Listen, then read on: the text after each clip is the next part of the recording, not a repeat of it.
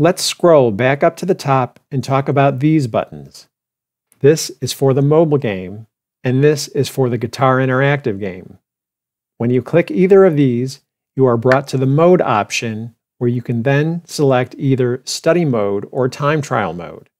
They differ on if they are timed or not, if they record stats, and if they provide hints.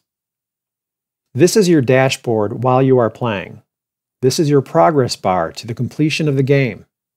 During a time trial, this represents you racing against any personal record that you've registered for the current lesson page, showing how much ahead or behind you are.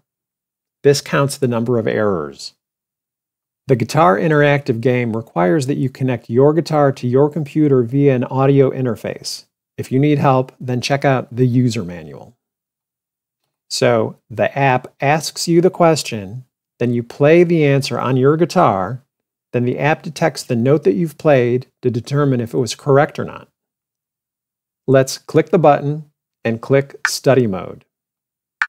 So the question is asked visually as well as audibly. The display shows for what area you are supposed to provide your answer. For example, the E string, or later, the A string. It also shows hints, so in this case, the pattern and notes of the A minor pentatonic. The sequence of questions are also hints. For instance, the first block of questions follow the lick looper licks that you're already familiar with. As you progress, the hints get progressively sparse. Since this isn't timed, you can stop the game whenever you wish.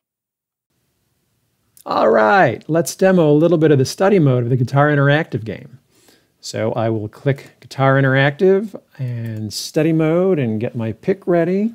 C A G A C A G A C and so on. There are two more levels. When you're first starting out, keep your eyes on the visual cues. As you get better, ignore those and look at your fretboard just listening to the audible cues. This area is related to the note detection algorithm.